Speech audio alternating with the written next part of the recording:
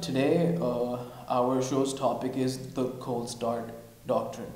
And uh, you being a defense analyst, uh, you being uh, a retired colonel from the Pakistan Army, uh, let's discuss uh, today's topic, the cold start doctrine. And, you know, I have some questions on my mind sure. that I'd like to discuss. Um, why did India devise a military doctrine to fight a limited conventional war against Pakistan under the nuclear umbrella, Colonel Saab?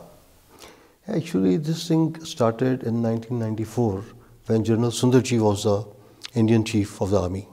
And then it has evolved. It has got three objectives.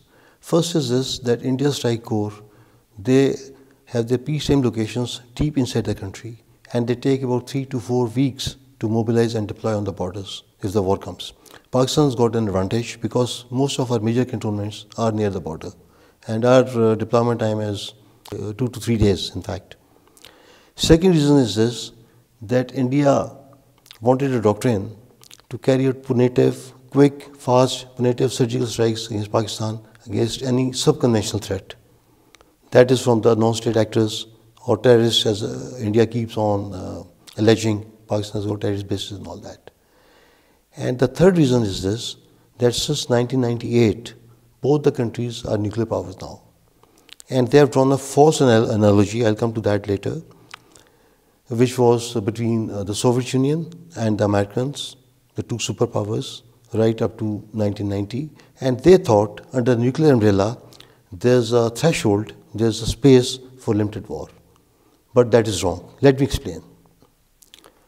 Now, Americans and Soviet Union, they had a term they were using MAD, mutually assured destruction during the Cold War, right from 1945 to 1990.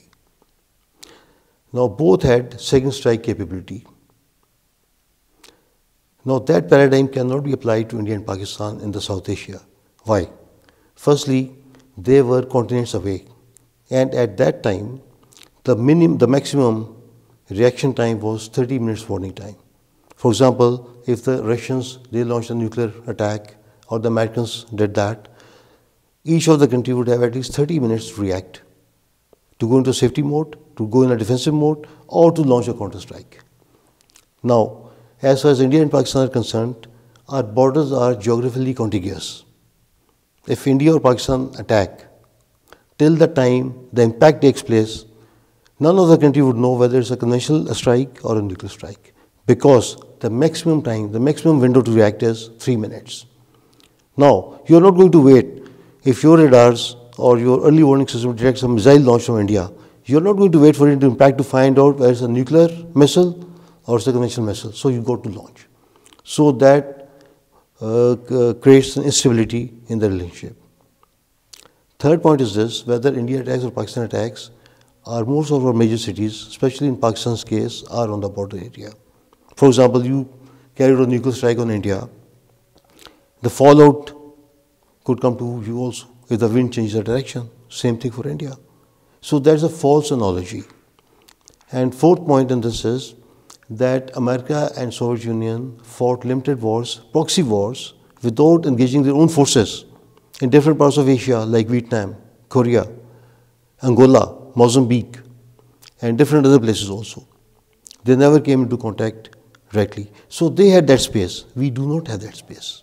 Uh, okay, Colonel, uh, is it effective enough to neutralize or at least uh, severely degrade uh, the, military, uh, the military capabilities of the, the Pakistani forces? Well, uh, Zain, we have got a very strong conventional defense. We have always been maintaining a ratio with the Indian force structure. So that is not a point to be scared of. But the second point is this as far as cold start doctrine is concerned, it is not very effective. Why? I'll tell you. Now, if you develop any doctrine, it has got one, two, three phases. First, the conceptual phase, second, experimentation, third is implementation. Conceptually, India's been talking about it, like I told you earlier, since 1984. It has been evolving. They've been talking. They have also been experimenting, especially after 2004, after the attack on the parliament in 2001. From 2004 till now, they have got about five, six major exercises where they have been experimenting. As far as the implementing stage is concerned, India is nowhere towards their desired objective. Why? They do not have a proper infrastructure. They do not have proper cantonments near the border areas. Although they have got the cantonments for the holding corps, but not for the strike corps. They don't have the infrastructure. They don't have the equipment. Now, if you cast an eye on the whole Indian army, more than uh, 1.2, 1.3 million, only 35% of that army has got a mobility within India itself. They need self-propelled artillery guns to support this doctrine, and they've got only 10% of those guns which they require. 10%? Only 10%. Their uh, tanks, they are outdated, although they did buy some new uh, T-90 tanks from Russia, but most of the tanks are outdated, and their own indigenous tank is still not in the final stages of production. Thirdly, India has always been having a defensive uh, doctrine. Now, if you are going towards an offensive doctrine, you need a change of mindset. Indian army military is very conservative. So they will need a lot of time to train their uh, people, train their officers especially, to think in terms of mobility and flexibility. And let me add one more thing. This doctrine does not have the validity from their political leadership. And I might even uh, refer you to one of their American ambassadors in, 19, in 2004, 2005 in uh, USA, uh, US's ambassador in India. He sent a cable to his State Department. He says it's just a mixture of myth and reality. And I would say it's more of a myth than reality. Uh, Colonel, uh, what would be the role of air power in such a conflict? In this conflict, air power has a very crucial role. As far as the Indians are concerned, I'm talking about their concept only, because like I've told you, there is no implementation so far on the horizon. So as far as Indians are concerned, since they're going to use armored columns, mechanized uh, columns, self-propelled artillery, they would need air cover. Right. As far as the role is concerned, now there's a new concept, not, not new now, but the concept which came out after the first Persian Gulf War in 1991. That is the air-land battle. Earlier on, air had two major roles to create air superiority in the area of operations and second, close support to the ground forces. Air-land battle envisages a broader role for that, that you start hitting the enemy in the rear areas, their infrastructure, armament factories, depots, railroads, and those reserve forces which are yet to move out to the battle, to start striking them, so that you create chaos even behind the enemy which is at the front line. So that is known as air-land battle, which is a very close uh, integration of land and air warfare.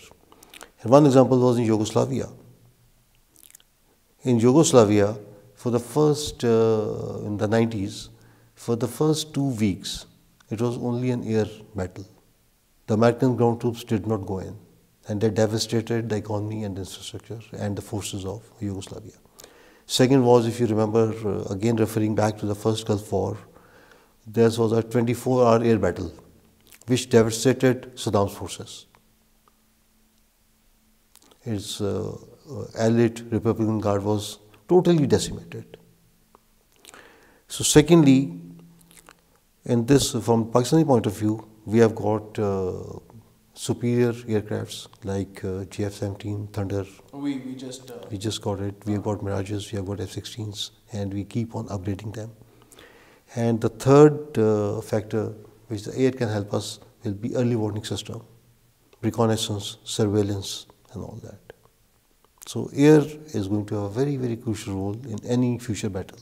Okay, uh, what does India consider a provocation uh, to launch cold start on Pakistan since it's a loose term?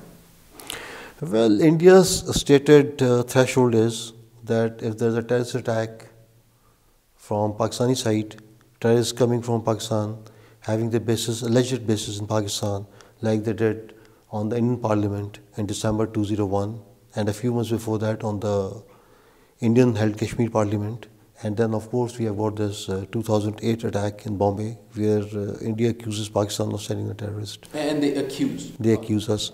So, and they have stated that next time they have got such a pro, such a attack that would provoke them to launch Cold Start. But like I said earlier, to your earlier question, they do not have the wherewithal, they do not have the capacity to do that. Had it been there, they would have done it in 2008. Okay, Colonel, uh, this is uh, one of my favorite questions. Uh, does Pakistan intend to stall the Indian forces right at uh, the border itself or fight a tactical uh, retreat till the Indian forces lose momentum? Well, the short answer is this that due to our geography, we do not have a choice. We need to stop Indians cold in the track right at the border. Let me explain. Till about uh, mid 80s, we've been having a very defensive posture as far as the borders are concerned. From mid 80 onwards, we have gone on an offensive defense. That is a doctrine which states that we may need to carry out preemptive strikes in the Indian area to obviate their attack. Now, as far as Pakistan is concerned, I wish we had a map here. Pakistan is basically triangular in shape with a long border line on the eastern border with India. And all our major population centers like Sialkot, Lahore, they are right next to the border. Now, Lahore is only 20 kilometers. Even if you go to the south, Karachi is 160 kilometers, which is nothing uh, in terms of modern warfare. All our uh, transportation networks, they run parallel to the border. Our line of communication runs well to the border. Our industrial areas are near to the border. That means our economic or war fighting capability is also near to the border. In fact, uh, our average depth, geographical depth, is just about 300 kilometers. And we have got a very big disadvantage near Rahim Yar Khan area where our waist is very, very narrow. And India has got eyes on that in a total war, in an all out war, that they want to hit that area. That is the most crucial, most vulnerable place. They would likely divide Pakistan into two portions. So we have no choice. We either preempt if we get an, get an early warning, like I was talking about you, the concept of land air warfare, we go into the airstrikes and stop them in there. Otherwise, we have got very strong defenses on the border. So we are likely to stop them at the border. But having said that, in uh, battle and sometimes by design, there is always a chance of some sort of penetration. Because if the where the enemy attacks you, there the ratio of the attacking forces is much more. The tactical ratio is much more than the defenders. The conventional military science says it's got to be ratio of 3 to 1 if you're attacking, and maybe more at times. So there is a likelihood of some sort of penetration, maybe 5 miles, 10 miles, 15 miles, and at times it is by design that you want to suck in the enemy. But in the conventional sense, we cannot afford to suck in the enemy. Um, I wanted to ask you, oh, what is the role of uh, C4ISR relating to uh, the cold start doctrine? Well, then in modern battlefield, C4ISR is very crucial. Now let me explain. C4 means command, control, communication and computers. I means intelligence, S is, S is surveillance and R is reconnaissance. Now this is very important for military leaders. They need to have real time intelligence, real time information, and more importantly, they need to have data links, video links, so they can communicate and they can confer in real time. In earlier days, Second World War, or uh, even after that, commanders had to travel down or up to confer. They had to be physically at the same place or use telephone, which was not very reliable. But we had seen in uh, the Americans' war in uh, Iraq and Afghanistan They've been talking, consulting on video links right from Kabul to Washington or from Baghdad to Washington. So this is of, of a very crucial element. In fact, now we need uh, to have net-centric armies. That means all the components of the army, all the components of a division or a corps or any unit, they are able to communicate with each other, share intelligence, share information, share decisions in a very rapid mode. And as far as we are concerned, uh, we have got a uh, lot of hardware for this. We have got uh, Saab early warning uh, aircrafts with the uh, state of art aircraft with the PAF, and they can give you a real time picture of the battlefield. Then we have got radars, look up, look down radars, long range radars, short range radars, ground radars. We have got UAVs also, that is uh, which is commonly known as drone. PAF uh, is having two squadrons of UAVs, that is uh, unmanned aerial vehicle, commonly known as drone, and they are going to have uh, ultimately six squadrons of that. So we have got the wherewithals, and uh, we are pretty fine in that aspect. In the presence of strategic balance in South Asia, why do the Indians still have a feeling that a limited war eh, with Pakistan is still possible? Well, I partially answered uh, this question earlier that Indians are drawing a wrong analogy from the paradigm between the erstwhile USSR and the Americans during Cold War. They had a space. They could fight proxy wars, they could fight limited wars. Now, let me also explain here for our viewers what is a limited war. Limited wars concept dates back to the 18th century and it was applied uh, during our 20th century also. Limited war means limited political objectives or military objectives, fought in a limited designated geographical area, use of limited weapon systems. So Americans and Russians, like I said earlier, they could not afford a nuclear war. But they had their interest, they had to safeguard their interest. They were both hegemonistic powers, they had different camps, clashing ideologies, so they had to fight a war. They were using proxies.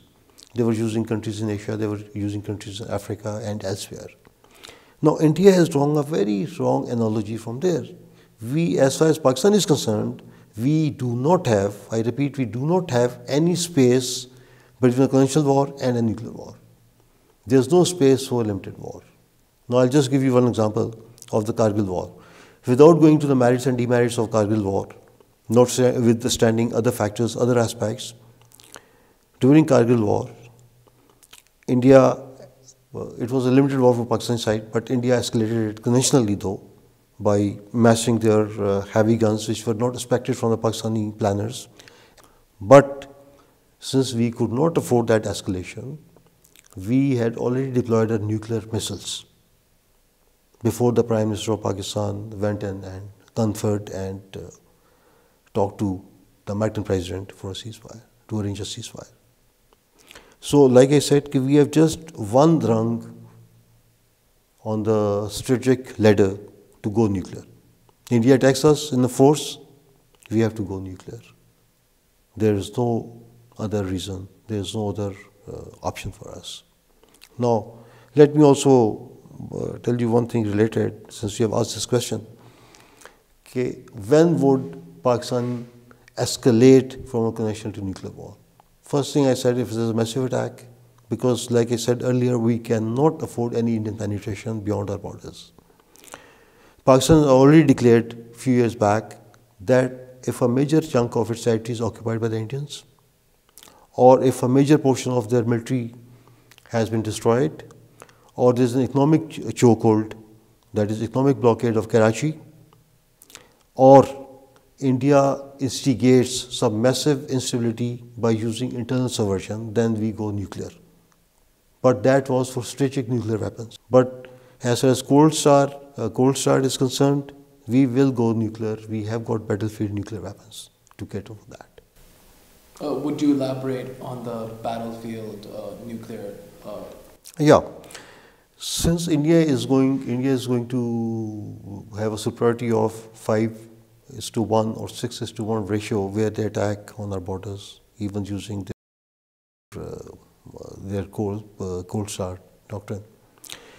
That also envisages uh, dispersion on eight to nine axes across Pakistan's border.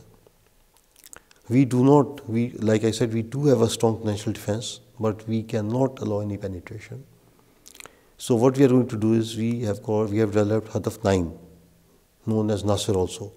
It's a low yield nuclear weapon having a 60 kilometer range and it's a 300 uh, millimeters weapon that is about 12 inches and we have used uh, Chinese multi-barrel rocket launcher uh, having four tubes that is known as probably A100 we are going to use that. And interestingly, it's a shoot and scoot weapon. You fire and you move.